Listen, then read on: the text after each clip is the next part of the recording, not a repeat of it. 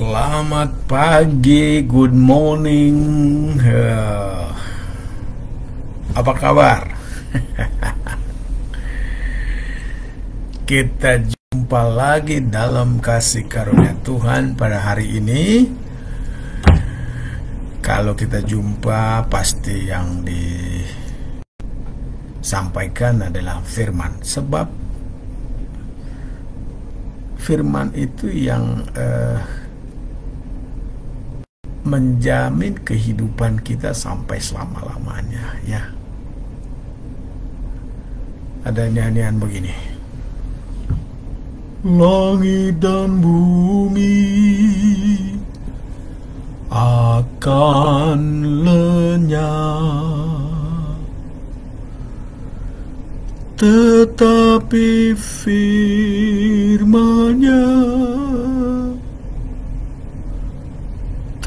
tetapi firmanya tetapi firmanya tinggal tetap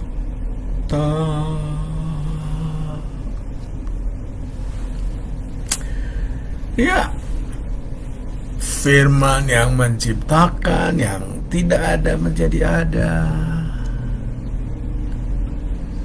Firman yang uh, membuka pintu yang nampaknya sudah tertutup, ya. Firman yang uh, menghibur, ya firman itu menghibur. Nanti kita baca firman yang menghibur ya di hari yang keenam di mana kita uh,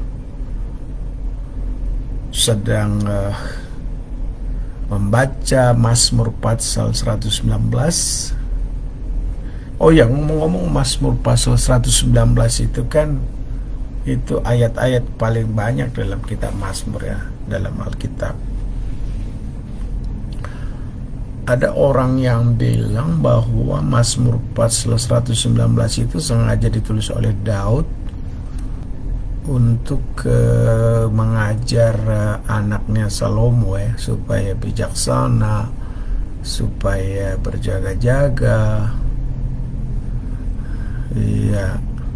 Jadi kita Mazmur itu ditulis uh, sengaja kepada Salomo dengan menggunakan semua abjad uh, Ibrani ya 22 22 huruf ya. Mulai dari kata Alep dan seterusnya ya. Uh, 22 huruf itu yang kita bagi pada uh, hari-hari ini menjadi 22 makanya saya bilang begini 22 hari kita putar arah. Diulang-ulang terus putar arah ya.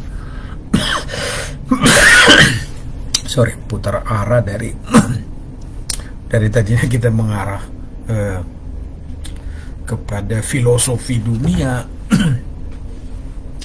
Filosofi uh, filosofi atau ajaran-ajaran dongeng-dongeng yang kedengarannya sih baik-baik memang. Tapi siapa bisa menjamin apa yang kita apa yang kita hmm, dengar itu tentang dongeng yang menjamin ya penghiburan kita sampai selama-lamanya ya. Selamat pagi Pak uh, Sakti, Pak Ben, ih dari Papua Ben ya, selamat, salam. Pak Daniel Ginting, semangat Bapak. ya, akan diusahakan semangat. Iya, jadi Firman itu ya ada orang bertanya-tanya siapa Firman. Atau juga lebih lebih spesifik apa itu uh, apa itu Injil?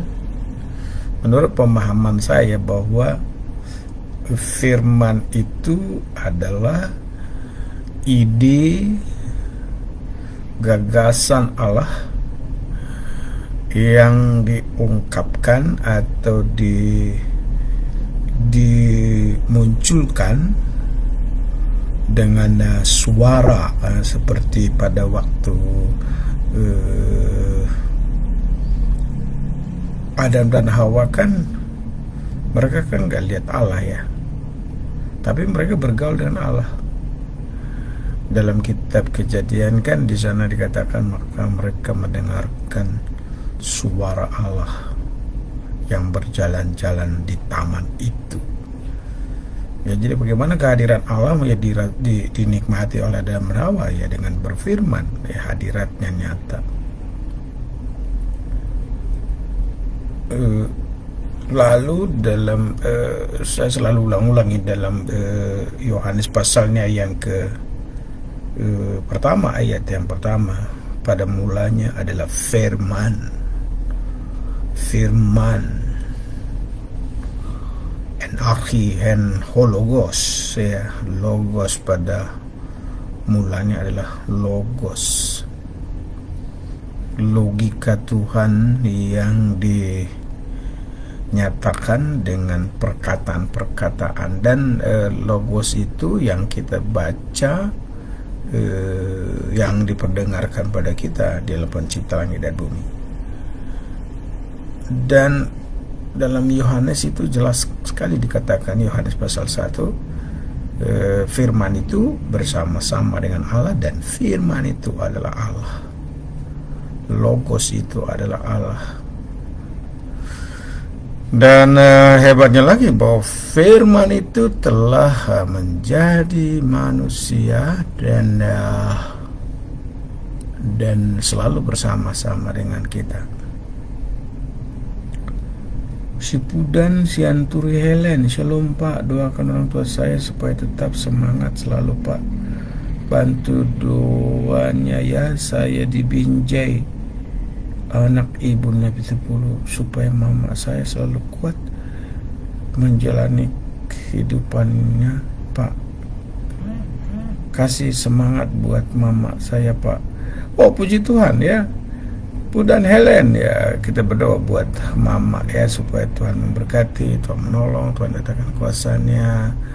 Ya jama dia Bapak jama supaya tetap semangat. Dan uh, semangat yang pada dia adalah firman Tuhan yang menyemangati. Ya kembali. Jadi firman Tuhan itu uh, adalah Yesus sendiri dan Yesus itu adalah kabar baik. Injil Evangelion adalah kabar baik.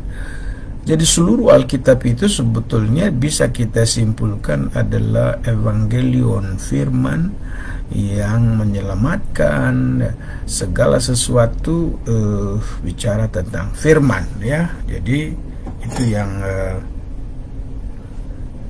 itu yang kita perlu uh, sadari dalam kehidupan ini ya. Karena itu kalau kita mau uh, berbahagia kalau mau hidup sesuai dengan firman nah pasti Tuhan tolong dan memberkati kita. Eh Om Yori Om Yori gua kasih haleluya Om Tuhan Yesus memberkati. Jadi aku mau baca firman Tuhan dulu ya. Baca firman pada hari ini dari 22 hari kita membaca kitab Mazmur pasal 119 karena Mazmur pasal uh, 119 itu dibagi dengan uh, 22 alinea dan setiap alinea itu adalah urutan-urutan dari abjad atau huruf-huruf uh, Ibrani. Dan sekarang kita coba, ah kita coba. Sekarang kita baca Mazmur pasalnya yang ke-119 ayatnya yang ke-49 sampai ayatnya yang ke-56 ya. Baik, kita baca kalau kita mau uh, buat ini sebagai penghiburan ya. Jadi firman itu adalah penghiburan ya. Firman Tuhan itu adalah comfort. Uh, jadi kita di, di, dihibur oleh firman. Misalnya dikatakan apa? Ingatlah firman yang kau katakan kepada hambamu oleh karena engkau telah membuat aku berharap. Kepada siapa ya? Pemasmur bilang itu. Ingatlah firman yang kau katakan. Dia dia ngomong kepada kepada Elohim, kepada Tuhan.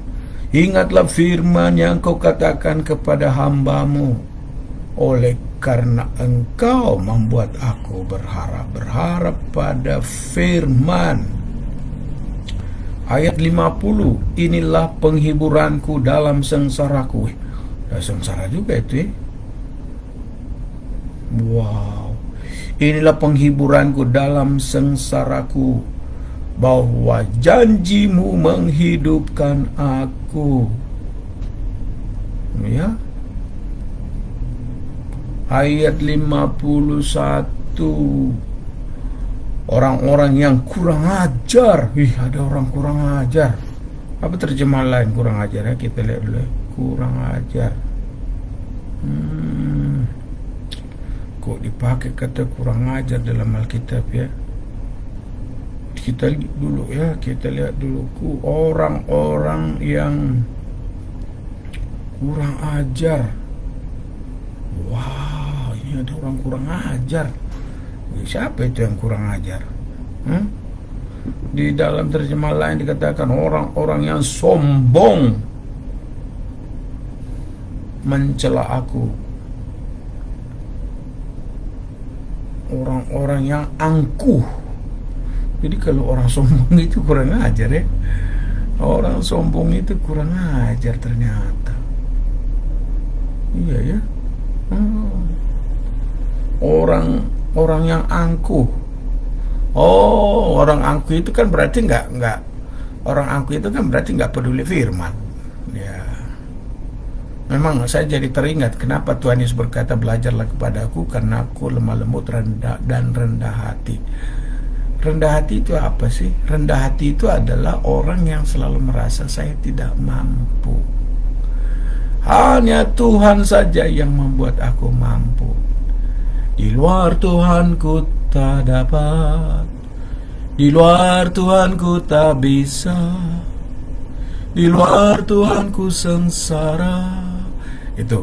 Jadi kalau kalau tanpa firman Orang itu jadi orang sombong. Lalu uh, ayat lain. Dalam bahasa Inggris disebut the proud I I have the proud have had me greatly in derision derision. Ya. orang-orang yang angkuh. Jadi orang angkuh itu menurut terjemahan eh, terjemahan baru ini adalah orang-orang yang kurang ajar ya orang kenapa kurang ajar pada kita karena dia nggak tahu firman ya Orang-orang yang kurang ajar sangat mencemoohkan aku. Apa dia percaya sama Tuhan? Mana Tuhan bisa tolong dia? Mana, mana firman bisa selamatkan? Nah itu orang-orang kurang ajar. Lihat nih aku ini hebat, aku ini bisa, aku ini kaya, aku ini punya segalanya. Oh, orang-orang yang kurang ajar. Ayat 52, aku ingat kepada hukum-hukummu yang dari dulu kala ya Tuhan maka terhiburlah aku hukum-hukum Tuhan itu menghibur ya kepada Yosua Tuhan sangat berpesan melalui uh, Musa jangan engkau menyimpang ke kiri dan ke kanan sesuai dengan uh, firman dan ketetapan yang ku sampaikan padamu supaya kau beruntung dan berhasil dalam hidupmu. Wah, jadi kuatkan dan teguhkan hidup dari dengan firman itu. Aku ingat kepada hukum-hukummu, ingat pada hukum-hukum Tuhan yang dari dulu kala ya Tuhan, maka terhiburlah aku. Ayat 53 Aku menjadi gusar terhadap orang-orang fasik yang meninggalkan Tuhan. Gusar ya. Susah. Pemasmur ini susah melihat orang-orang fasik. Orang fasik itu orang yang tidak peduli Tuhan. Orang yang merasa hebat. Orang yang tidak mau uh, menyerahkan diri kepada Tuhan. Ya. Ayat yang ke-54 Ketetapan-ketetapanmu adalah nyanyian masmur bagiku Di rumah yang kudiami sebagai orang asing. Haleluya. Ketetapan-ketetapanmu adalah nyanyian masmur bagiku Jadi kalau kita nyanyi e, bermasmur ketetapan-ketetapan Tuhan oh menjadi mazmur ya. Kita buat dengan kata-kata yang indah kata-kata yang manis sama Tuhan. Ayat 55 pada waktu malam aku ingat kepada namamu ya Yahweh ya Tuhan. Aku hendak berpegang pada Tauratmu inilah yang ku peroleh bahwa aku memegang titah titahmu. Dalam firman Tuhan ini kita menemukannya disebutkan ada firman, ada kata firman, lalu ada janji dalam firman, lalu ada uh, Taurat, lalu ada hukum-hukum, ada ketetapan-ketetapan ada kata lagi yang disebut dengan uh, titah-titahmu ya. Titah hukum. Itu semuanya bicara mengenai firman. Karena kita ini kan sudah dipanggil menjadi umat kesayangan Tuhan. Tentu menjadi umat kesayangan Tuhan itu uh, ada maksud Tuhan dalam hidup kita ya. Selfie anak kemarin ya. Amin. Terpujilah Tuhan ya. Tuhan berkati selfie ya. Ya jadi firman Tuhan itu ya firman Tuhan itu firman Alkitab. Jadi kita sangat berbahagia sangat bersyukur sangat bergembira sangat terhibur apabila firman itu disampaikan pada kita ada orang ada ada hal-hal yang membuat kita sangat tidak terhibur ya. Saya selalu ulang-ulang ini membuat kita tidak terhibur itu apa? Satu ya. Yang membuat kita tidak terhibur itu eh, keadaan ya. Environment kita lingkungan kita. Karena ya, nggak ya, sesuai dengan harapan kita kemudian juga orang-orang di sekitar kita bisa membuat bisa seperti mencuri penghiburan dari kita ya. Kita berharap anak-anak kita menjadi penghiburan bagi kita tapi mengecewakan. Kita berharap orang-orang dekat sama kita teman kerja teman sekolah tapi malah mengecewakan. Itu orang bisa men, bisa tanda kutip mencuri penghiburan kita kita jadi nggak terhibur lalu. Kemudian juga yuk, ya, setan ya setan kuasa kegelapan iblis. Ya, iblis ya gimana caranya kita bisa uh, mengetahui bahwa iblis bisa mencuri kebahagiaan kita uh, penghiburan kita? Ya ya pada waktu malam-malam tiba-tiba ada orang tadinya uh, enjoy hidup. Tapi tiba-tiba dia murung. Nggak tahu penyebabnya apa. Ada kuasa kegelapan. Nah karena itu untuk menolak semuanya itu untuk untuk kita hidup dalam dalam hal terus kita terhibur apa? Ya firman. Firman itu menopang kita. Firman itu membuat kita tidak berdosa. Firman itu membuat kita uh, melangkah dengan pasti ke depan bahwa uh, oleh firman itu kita hidup.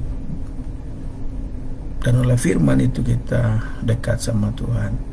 Karena kita berkata ya pada firman. Ya kita ngomong ya pada firman. Ya kita berkata ya pada firman.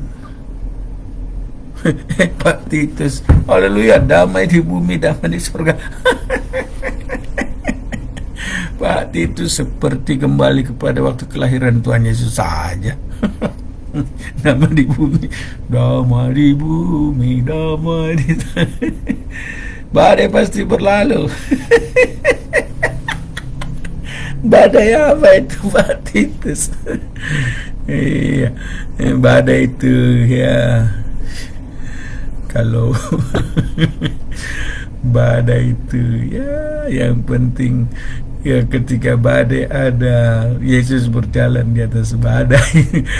Lalu lalu uh, Petrus kan bilang itu hantu. Wah karena di pikiran murid-murid itu selalu hantu aja selalu hantu.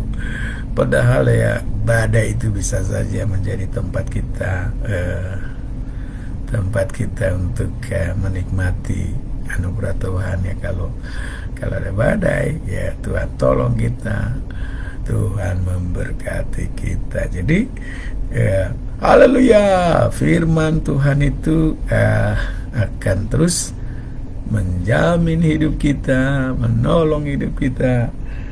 Jadi kembali pada firman Tuhan Mazmur 119 ya itu eh, dalam 22 hari kita eh, balik arah hidup sesuai firman eh, bekerja sesuai firman eh, ikuti hukum-hukum Tuhan ikuti ketetapan-ketetapan Tuhan pokoknya jangan menyimpang ke kiri dan ke kanan lah ya tetapi kita uh, tetap uh, dekat sama Tuhan dan uh, membuat kita dekat sama Tuhan apa? Kan kita nggak lihat Tuhan ya. Coba, coba lihat di depanmu ada nggak Tuhan? Kelihatan nggak? Kita nggak lihat dia roh ya. Kita sembah di dalam roh dan kebenaran. Dan kebenaran itu apa? Firmannya. Bagaimana kita bisa rasakan kehadiran Tuhan? Ya dengan firman. Karena itu selalu buka telinga pada firman uh, dengarkan firman ya khusus pada uh, semua jemaat dengar firman iya jangan dengar yang lain-lain nanti. Kamu bisa jadi kecewa nggak terhibur ya. Dengar kabar eh, kabar burung kah? Kabar angin kah? Kabar apa lagi? Kabar mengecewakan. Tapi kita dengarkan firman ya. Firman Tuhan menolong dan memberkati ya. Tuhan pasti eh, membimbing kita sesuai dengan firman-Nya. Karena itu saya uh, dari uh, dari sini mengucapkan uh, nikmati terus firman karena langit bumi akan lenyap tapi firman Tuhan itu kekal sampai selama-lamanya ya. Eh, ketika ketika Tuhan Yesus juga dicobai Matius pasalnya yang keempat itu selalu dia bilang apa ada tertulis ada tertulis ada tertulis artinya itu firman yang sudah keluar dari mulut Allah dan sudah masuk di pikiran oleh para penulis Alkitab dan sudah ditulis menjadi Alkitab dan yang saya percaya adalah bahwa Alkitab perjanjian lama dan perjanjian baru adalah firman Allah yang diilhamkan oleh Roh Kudus itu. Roh Kuduslah yang mengilhamkan firman kepada para penulisnya. Dan ketika dibacakan firman itu seperti pada hari ini dibacakan firman kepada kita, Roh Kudus juga terus kata bahasa teologinya mengiluminasi, memberi penerangan dari firmannya sehingga kita dapat melangkah untuk memuliakan nama Tuhan ya.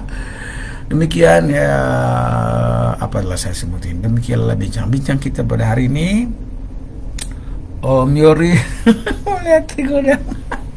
Oh, Om Yori ini omku ini baik sekali nih omku ini dari dulu selalu memperhatikan aku mulai dari Langawan sampai di di apa di dunia ini.